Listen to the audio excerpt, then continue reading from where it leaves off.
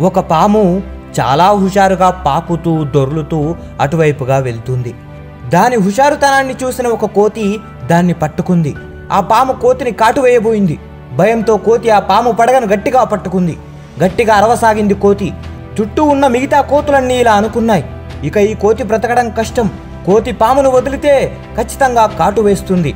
మనం దగ్గరికి వెళ్తే మనం కూడా పాము కాటుకు బలి కావలసిందే. మనం దూరంగానే ఉండటం మంచిది అని అక్కడి నుంచి ఆ కోతులన్నీ వెళ్ళిపోయాయి. తన వాళ్ళంతా తనని రక్షిస్తారేమో అని ఎదురు చూసిన కోతికి నిరాశ ఎదురైంది. అలాగే భయంతో కూర్చుంది.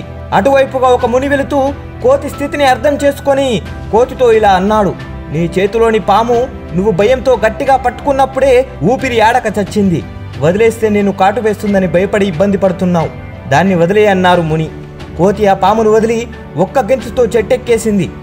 ఇందులోని నీతి ఏంటంటే నీకు కష్టం వచ్చినప్పుడు దాని గురించి ఆలోచిస్తూ భయపడుతూ ఉంటే ఆ కష్టం నిన్ను వదిలిపోదు. కష్టాన్ని దూరంగా విసిరికొట్టే పరిష్కారం వెతకాలి. అలాగే నువ్వు ఇబ్బందిలో ఉంటే నీ బంధువులు ఎవ్వరూ నిన్ను రక్షించడానికి నీ కష్టం తీర్చడానికి ముందుకు రారు. ఆ కష్టం తమను అంటుకుంటాయని దూరంగా వెళ్ళిపోతారు. నువ్వు కష్టం వచ్చినప్పుడు ఎవరి సహాయం కోసం చూడకూడదు. కష్టాన్ని భూతద్దంలో చూడకూడదు. కష్టాన్ని మంచి పరిష్కారంలో తరిమి కొట్టాలి అప్పుడే నువ్వు ప్రశాంతంగా ఉండగలవు.